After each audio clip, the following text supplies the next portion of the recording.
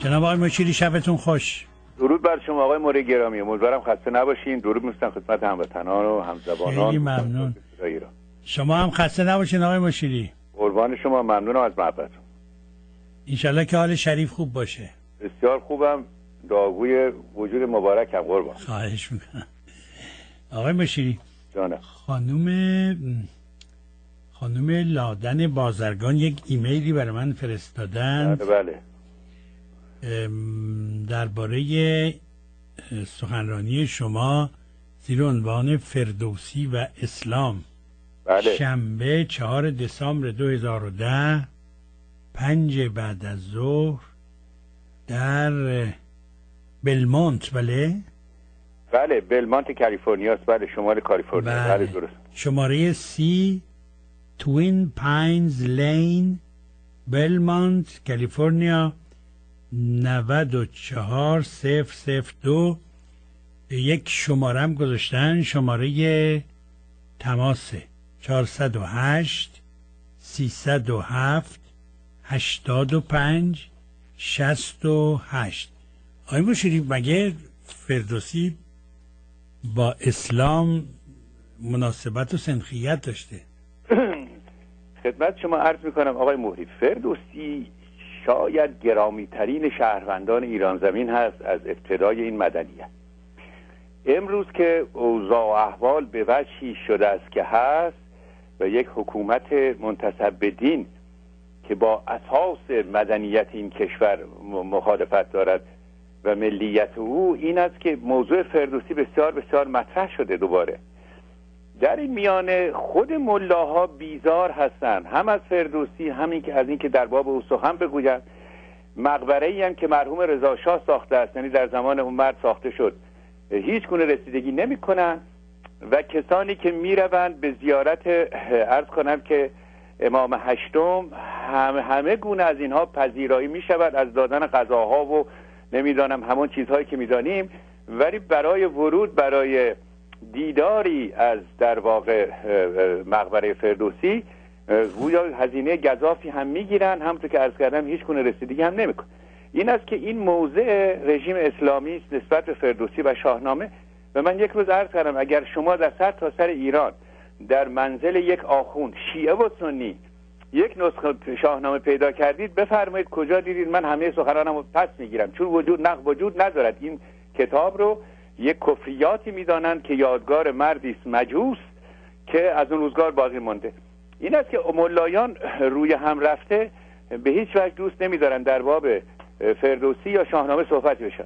از این سو البته کسانی هم هستن که اشوه و کرشمه ای دارند با این رژیم اسلامی و می‌خواهند حالا از مواهب این رژیم پربرکت استفاده بکنن مقالات می نویسن و دلایلی می آورند که بله این فردوسی آدم دینی بوده است و مذهبی بوده است و بسیار بسیار به اسلام علاقه من بوده است و اینها و این چند بیت مختصری که این مرد بزرگ محض زمانت این کتاب که اون رو نسوزانند و از میان نبرند ابتای کتاب گفته است این رو هم علم کرده حقیقت هم آن است که ذهنیت فردوسی تا اونجایی که ما فهمیدیم از متن شاهنامه و محتوای کتاب روزگار فردوسی روزگار گسترش علوم عقلی است و این مرد حکیم بزرگ مردی است اهل حکمت خردمندی است بسیار بزرگ که ذهنیت او برای ذهنیت دینی و مذهبی است.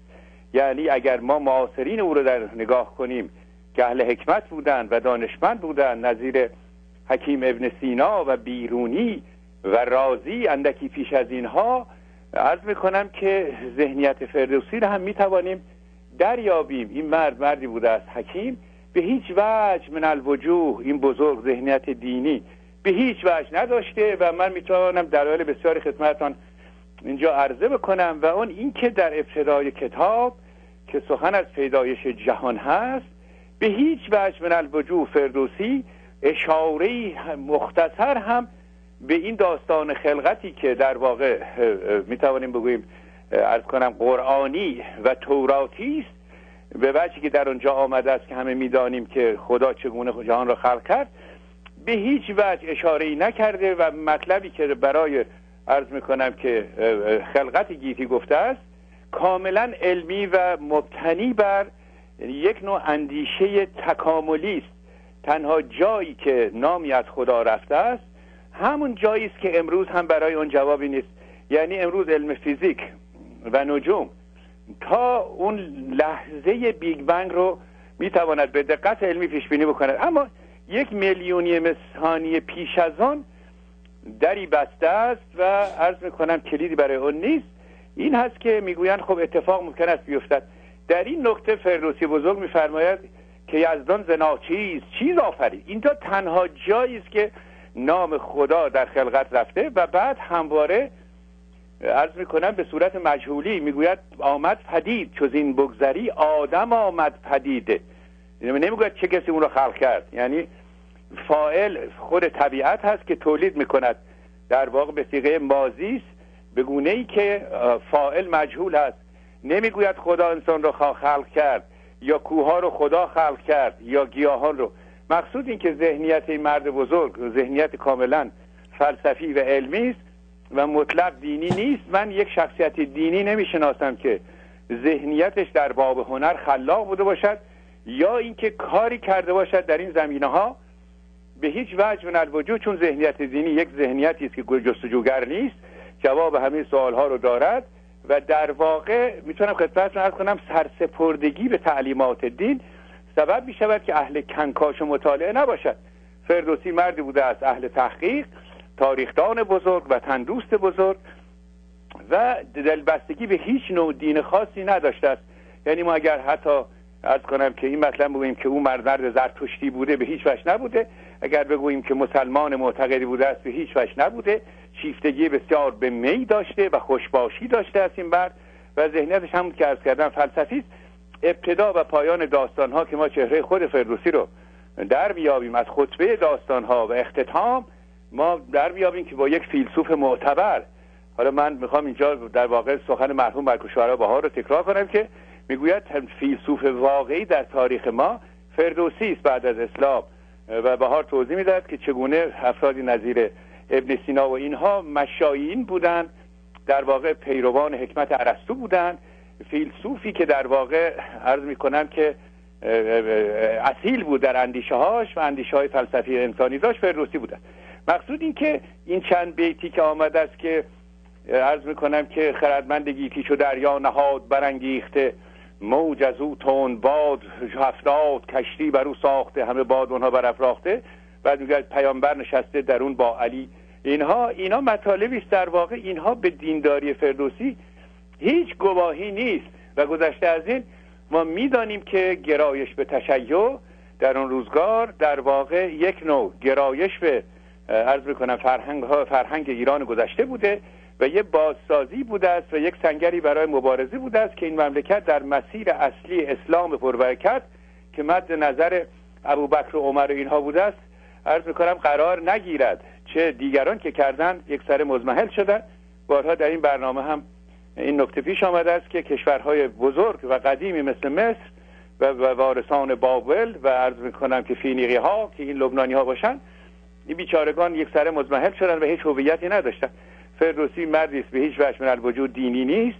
عرض می‌کنم که و این اشاره هاش هم به دین در واقع عرض شود که یک اظهار نظر سیاسی است نه دینی. آقای موری گرامی. ممنونم. آقای مشیری فرمودید که این ابیات برای تضمین حیات شاهنامه گفته شده. بله قربان نظر مخلصین هست. و خدمت شما عرض می کنم که در اون روزگاری که روزگار گسترش معرفت هست و یک نوع آزادمنشی علمی بر فضای خراسان حاکم بوده است یک مرد بزرگ ما داریم که حقیقتا روشنترین روشنفکران شاید تاریخ دنیا باشد محمد ابن زکریای رازی. این مرد بزرگ عرض می‌کنم که البته اهل ری بود و اینها در اون روزگار ایشون آمد به یک کتابی منتشر کرد به نام مخاریق الانبیا یعنی دروغهای پیامبران. و در اونجا به اثبات رسانید که این امر نبوت امر دروغین هست و خلاف عدالت خداوندی است و استنتاج ها کرد از این سخن که چگونه چنین مطلبی عرض می‌کنم ایجاد فساد و نفاق می‌کند و خرد و اخلاق رو مرشد قرار داد. ما هیچ چیز از این مرد در این زمینه دست نداریم در دست نداریم به جهت که آثار او را سوزانیدن و از میان بردن و تکفیر کردن. این است که اگر ما چیزی می‌دانیم از, از این رازی بزرگ به, واسطه از کنم ردیه هایی است که دیگران نوشتن بویژه همشهری و ابو حاتم رازی. و این یک رسم و سنتی بود. فرض فرمایید شما امروز در, در همین روزگار این آخوندها اگر در ابتدای کار در ابتدای کتاب شما بسم الله الرحمن الرحیم بسم تعالی حتما بایستی بنویسید. در روزگار قدیم همین روزگار پادشاهی گذشته من آثاری رو نگاه می‌کنم مرحوم فروزانفر استاد سعید نویگران. همواره یک نامی از شاهنشاه عکسی از او چیزی به خاطر اینکه این اجازه انتشار و رسمیت پیدا کند وگرنه با رژیم طرف بود و امروز هم چنین هست. در اون روزگار هم عرض می‌کنم که این فردوسی بزرگ ما ما اگر نگاه کنیم مجموعا در باب عرض می‌کنم علی یکی دو بیت هست. جمع ابیاتش که ما اون هفتاد کشیدن روی هم کنیم از ده دوازده بیت افسون نیست. در حالی که ما اگر شماره بکنیم فقط در توصیف رخش و زیبایی رخش و حشمت این اسب زیبا قریب پنجاه و دو بیت عرض می‌کنم که در باب رخش هست و این چند بیت کوتاه در ابتدای کتاب در باب این تشکیلات اسلام هست و وقتی ما به آخر کتاب برسیم سخنان خود رو از زبان یزگرد و از زبان رستم فرخزاد اینها اونجا گفته است که اینها چگونه مردمانی بودند که به مملکت ما آمده بودند. که انوشیروان چه خوابی دید انوشیروان دیده بود این به خواب که از این ملک بپراکند رنگ آب و بعد می‌گوید که از این مارها من چهرگان ز دانایی و شرم بی بهرگان یا اونجایی که میفرماید چو با تخت منبر برابر شود اینها همه در واقع بیزاری فردوسی است از تسلط بیگانه بر ایران و به خاطر همین هم هست و به همین دلیل هم هست که ایرانیان این کتاب را چون جان گرامی داشتن و اهل دین متکلمین معممین با بیزاری و نفرت و نفی و انکار به شاهنامه همواره نگریستن.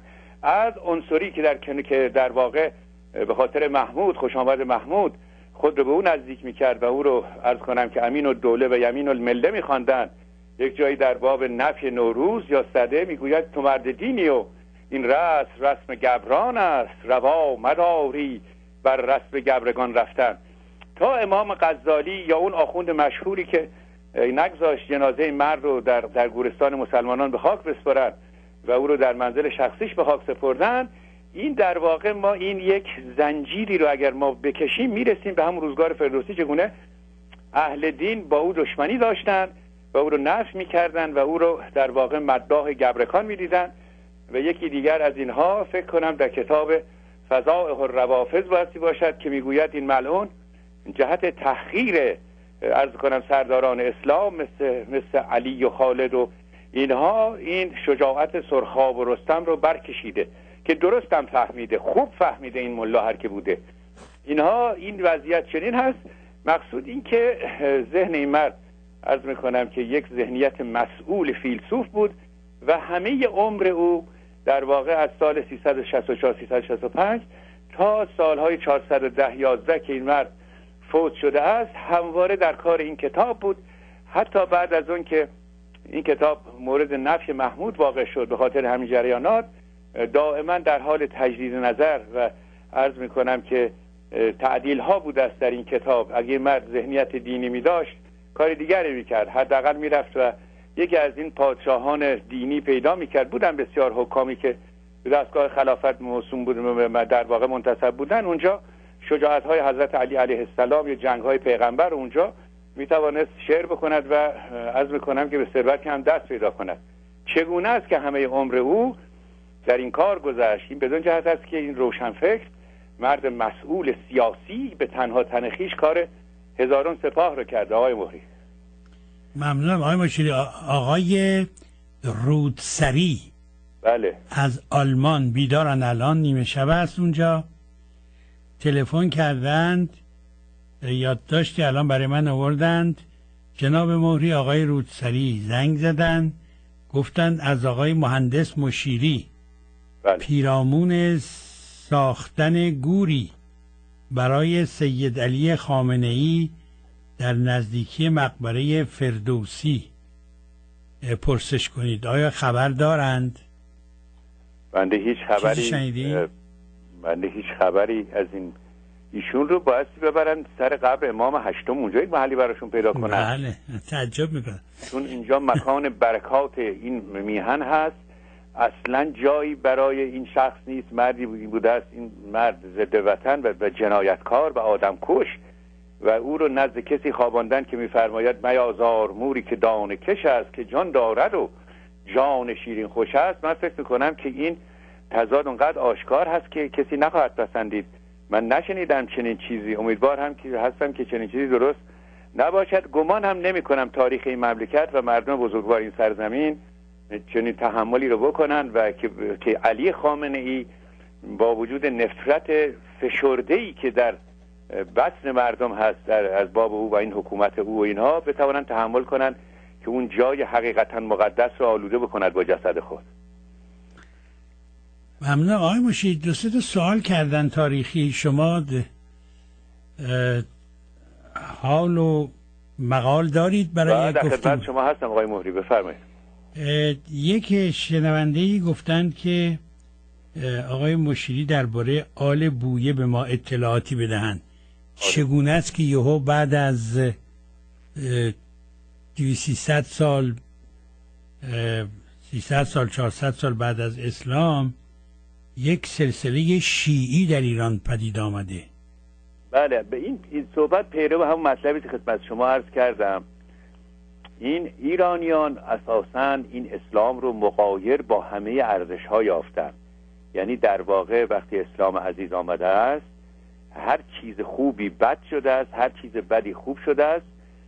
این است که این داستان شیعگری هم در واقع اگر ما به اساس تشیع نگاه کنیم یک نوع امام خدایی در اون پیدا می‌کنیم.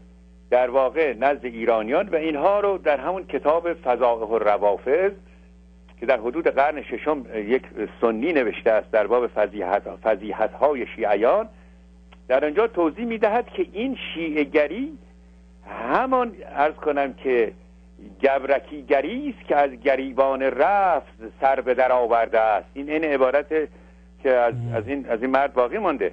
این است که این شیعگری در ایران که در مرکز ایران و گاه شمال ایران اینها بود نوعی نفی اسلام سنتی بوده و این دیلمیان یا آل بویه هم از آن گروه بودن آقای مهری گراوی اینها یک سلسله ای بودند که البته بسیار موفق بودند. اینها تبار اینها می‌گویند که ماهیگیر بود.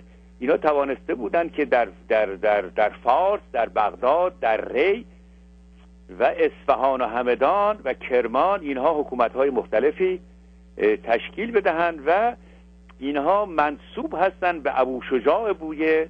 ارز کنم دیلمی. ما می‌دانیم که شمال ایران تا قریب دویست سال اینا در کنترل اعراب نبود. بزرگان ایران اونجا بودند در بهترین وجه که نگاه می‌کنیم یک ارز کنم که یک مالیاتی هم اینها پرداخت می‌کردن اینها خودشون رو به بهرام گور پادشاه ساسانی منتصب می‌کردن این یکی در دلایلی این هست که در واقع اینها می‌خواستن به نوعی اصالت ایرانی خود رو به اثبات برسانن. روزگار اینها روزگار سامانیان هست که در برخراسان بزرگ تسلط داشتن.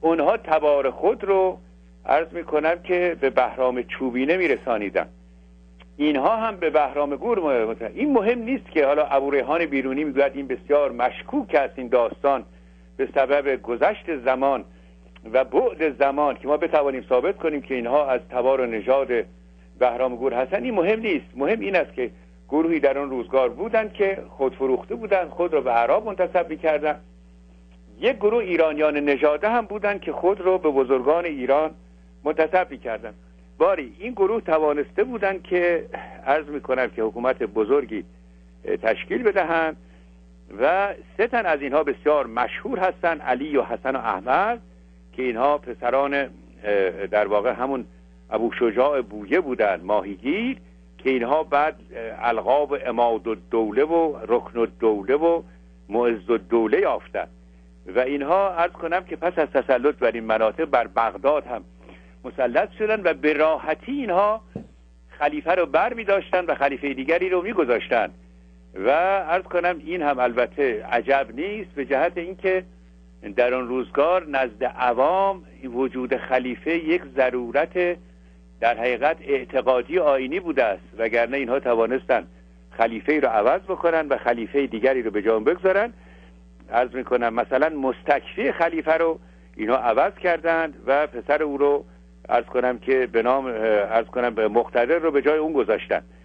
و اینها توانستند با اینکه تشکیلات بغداد همواره با داستان حسین و پسران علی و اینها دشمنی داشت داستان سینه زنی و اینها رو در خود بغداد اینها رایج کردن قدیر خم رو جشن می گرفتن و از این جور داستان ها روزگار اینها روزگار زوال حکومت سامانیان هست.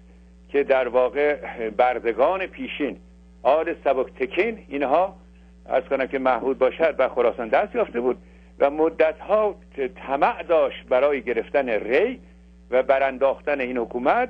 تشکیلات بغداد هم که البته بسیار ناراضی بود از, از این حکومت های دیلمی محمود رو تحریک می‌کردن. ما در اونجا یک شاعری داریم به نام قضایری رازی. این قضایری یک شاعری بود شاعر خوبی بود ولی تراز اول نبود. یک متنی برای محمود فرستاده و دو بار فیل طلا می‌گویند فرستادن برای این قضایری. و این برای این بود است که محمود در هیته حکومت دیلمیان شهرتی کسب کند. ملک شعرهای بهار مرحوم در یک قصیده خیلی قرا در این باب می‌گوید زر فرستادن نزد شاعران بر پشت پیل اینت خوش بازارگانی آنت والا مشتری. این است که و بعد این البته این قصائد خیلی معروف هستند که عنصری هم جوابی داد است و اینها که بماند. این یک بحث خیلی شیرین است در نقد ادبی. حالا شاید یک شب در باب این سه قصیده صحبت کنیم. معذالک محمود لشکر کشیده و آمده است و این حکومت رو به دیلمیان رو برانداخته و در اونجا نامه در دست هست که نوشته است به تشکیلات خلیفه که من آمدم اینجا اینها رو گرفتم و کشتم و تمام حکما فیلسوفان اونجا بودن کتاب ها داشتن محمود که سخت متعصب دین بود فیلسوفان ری رو به دار آویخت و کتاب های اینها رو آتش زد و جنایات بسیار کرد و حکومت دیلمیان هم با اینها بر, بر افتاد دیلمیان مردمانی بودند بسیار بسیار بسیر و عرض می کنم که هیچ گونه تعصب مذهبی از خود نشون نمی‌دادن. در روزگار اینها ما شخصیت های خیلی معروف داریم که اینها مناصب وزارت داشتن که یا یهودی بودن مسیحی بودن یا ادیان دیگر بودن. بسیار بسیار اینها مردمان در واقع بلند نظری در این ارتباط بودن.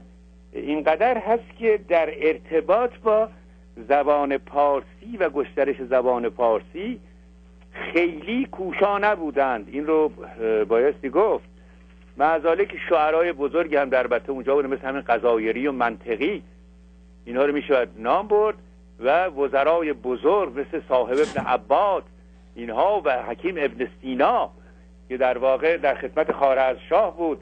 و بعد محمود نامه می نویسد که این پنج تنی که پیش شما هستن به دربار ما بفرستید.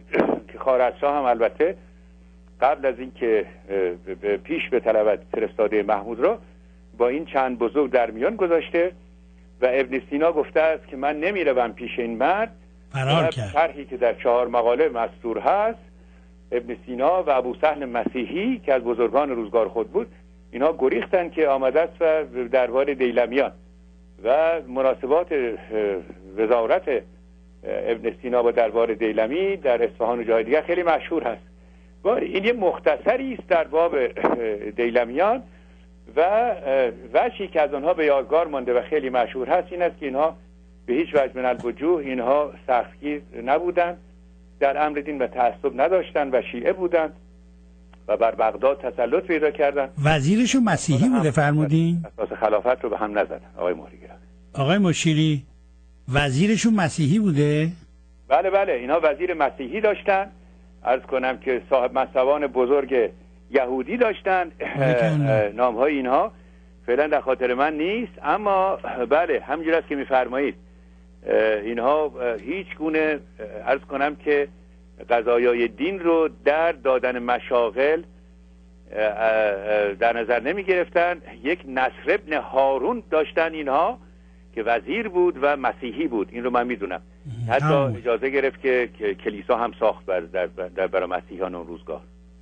ولی اینکه اینا بغداد رو گرفتن و اونجا عزاداری حسین برپا کردن از اون شگفتی های روزگاره. بله دیگه اینا یک نوع دهنکجی بوده به تشکیلات خلافت و اینکه شیعه یه دین ایرانی است. شیعه یک ابداع کاملا ایرانی است و می‌خوام خدمت شما عرض کنم که این سبب. اختلاف بزرگ شد بین اهل تسنن و این سبب تداوم هویت ایرانی شده. همین چند روز پیش که البته یک نکبت بزرگی هم شده است این روزگاه ما دیگر امروز به شیعهگری احتیاج نداریم برای استقلال ایران. همین چند روز پیش یک ملای نادان صفیح شیعه در لندن آمده است و گفته است که در جهنم دو پای آیشه رو می‌گیرند و او را آویزان در آتش نگاه میدارند. به محض که این سخن منتشر شده است ارز کنم سنیان عراق القاعده این مسئولیت رو به عهده گرفته. چند بمب در محل شیعیان بیچاره بدبخت گذاشته. فزون بر 60 نفر یا 80 نفر کشته. 350 نفر زخمی و گفتن شما می‌خواهید که شیعه صفوی رو به عراق بیاورید. ما چون این کاری نمی کنیم اونقدر علی خامنه‌ای وحشت کرده است که سب آیشه رو اینها تحریم کردن. در حالی که در همه آثار اینها نگاه کنید نه تنها سب آیشه کردن سب عمر سب ابوبکر اینها در واقع این در ابتدای کار در دو جا به داد ما رسیده است آقای مهری. یکی در همان روزگار اسلام صد که بزرگانی آمدن خود رو به شیعه منتصب می‌کردن. حکیم ابن سینایی که خدا را قبول ندارد و عالم را قدیم می‌داند و قیامت را محال می‌داند خود رو به شیعه منتصب می‌کند. حکیم فردوسی خودمان و بسیارانی دیگر. اینها از کنم که در اون روزگار سبب شد که همونطور که عرض کردم اسلام در ایران در جریان اصلی اسلام و زبان عربی مزمحل نشود. چون اینها مناطقی که به دست می گرفتن یک ایدئولوژی نیرومند هم با خود داشتن منطقه رو ابتدا اسلامیزه می‌کردن و بعد به قول امروزی ها عربیزه می‌کردن. ایران ما نه اسلامیزه شد نه عربیزه شد. همین سخنانی که همین محاوره مخلص با شما ما این محاوره رو اگر که به زبان اردو بکنیم در پاکستان پخش شود فردا ممکن است که جان من و شما در خطر باشد. در حالی که هموطنان ما استقبال می‌کنن به واسطه بزرگواری ایرانیان و اینکه همواره ایران و ایرانی به اسلام در واقع به عنوان یک آیین پرخاشگر متجاوز نگاه می‌کند که به کشور ما تحمیل شده. این است که به ما رسید و در مقطعی که ایران فراموش شده بود این تکریم و تعظیمی که بنده دارم برای پادشاهان صفوی به خاطر همین دلیل است که ایران توجه فزون بر هزار سال نام ایران نبود جغرافیای ایران نبود. اصلا اصلا اسمی از این مملکت بر صفحه تاریخ نبود. یک شیعه زاده پیدا شد به نام عرض می‌کنم اسماعیل و او آمد و گفت که این در حدود این کشور بایستی به روزگار انوشیروان برسد.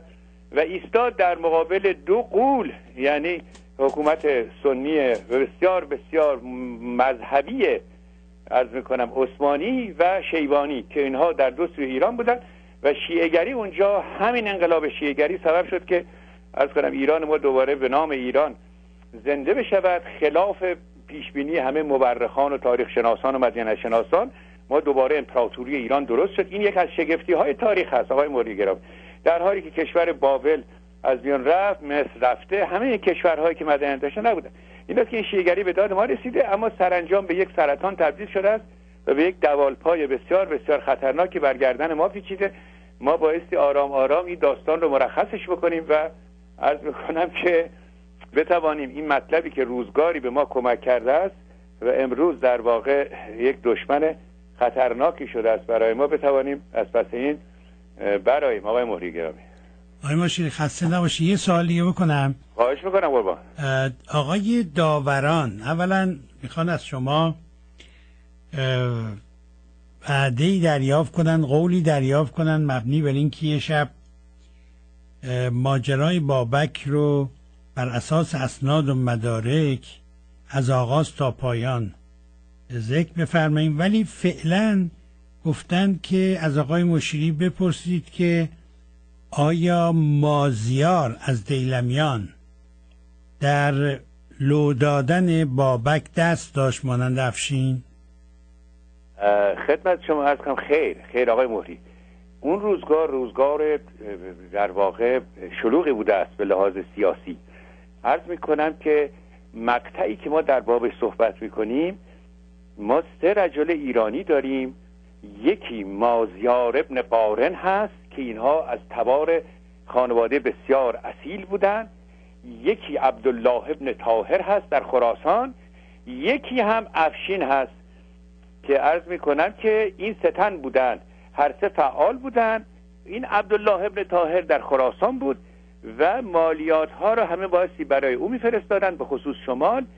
این مازیار همونطور که عرض کردم از در واقع آخرین امیر هست از, از, از, از رؤسای اون منطقه تبرستان که قارنوند به اینها می‌گفتن. و در واقع این مرد جد بزرگ او یکی از رجال بزرگ اون روزگار بود که بعد رفته بود و عرض می‌کنم پیش خلیفه رفته بود. ونداد هرمز نام داشت و اطاعت خلیفه کرده بود. و بعد اینها یک شهریار نامی هم داشتن اونجا که با اینها رقابت داشت.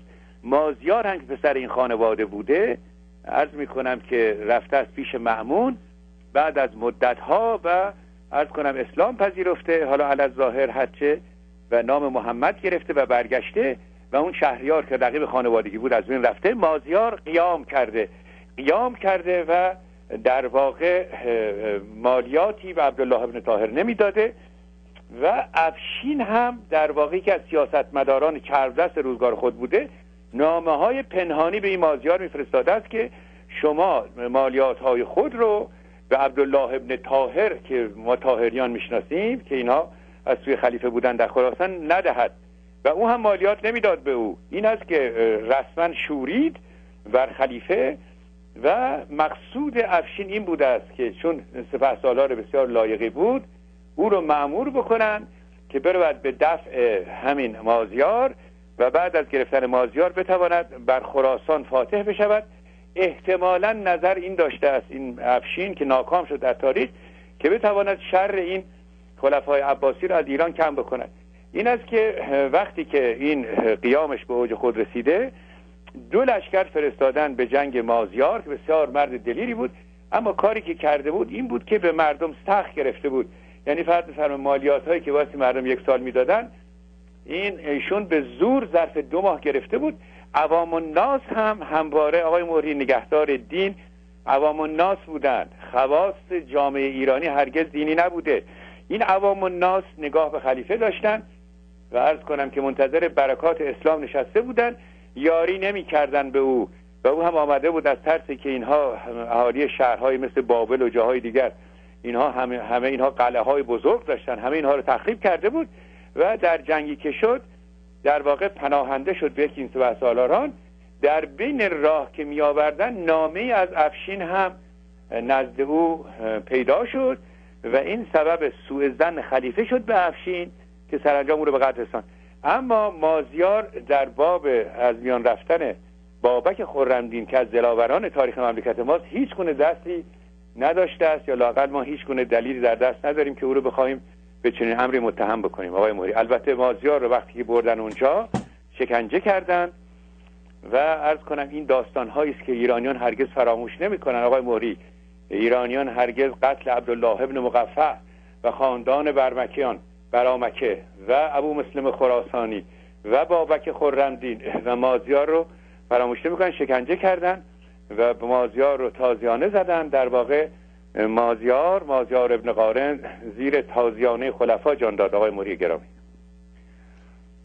خیلی ممنون جناب آقای مشیری عزیز اطلاعات بسیار جالبی بودش. قربان شما. من فکر می‌کنم آقای مشیری درباره این آلبویه و اصولا دیلمیان باید تحقیق گسترده تری انجام بشه چون بله بله, بله کارهای بله. شگفت بسیار کردن. بله بسیار کار کارهای شگفت کردن. و عرض می‌کنم که رنگ ایرانی حکومتشون بسیار بسیار قوی بوده و بهترین صفتشون همین دینی نبودن اونها بوده و کسرتگرا بودن. خیلی تعجب می‌کنیم که چگونه کسی می‌تواند با اهانت خلیفه عباسی رو عزل بکند به یک کسی دیگری رو با یک اشاره خلیفه بکند و باز خلافت رو نگه دارد. این از امر عجیب از, از عجایب امور هست اما بایستی توجه کنیم که شرایط امروز رو به اون روزگار تحمیل نکنیم. به همون دلایلی که عرض کردم عوام الناس چشم به بغداد داشتن و اینها در واقع خلافت رو نوعی تداوم حکومت رسول می‌دانستند این است که دست ابو مسلم خراسانی بسته بود و از این زمینه هست که در واقع مقام و منزلت و بزرگی یعقوب لیس سفاری و بابک خرمدین معلوم می شود که رسما ایستادند و یعقوب مرد مردانه است که نظیر او ما در تاریخ هم بسیار اندک داریم که رسما به بغداد لشکر کشیده که با نیروی نظامی این حکومت رو براندازه. این است که این ارز کنم این گونه ملاحظات متاسفانه در اون روزگار بوده و اینا همه بزرگان ما بودن و بایستی ما حقیقتا برای همه بایستی که احترام قائل بشیم. آقای موری. ممنونم آقای مشیری عزیز. با اجازتون تا هفته آینده درود بر شما آقای مهری. شب شما شب روز شما خوش.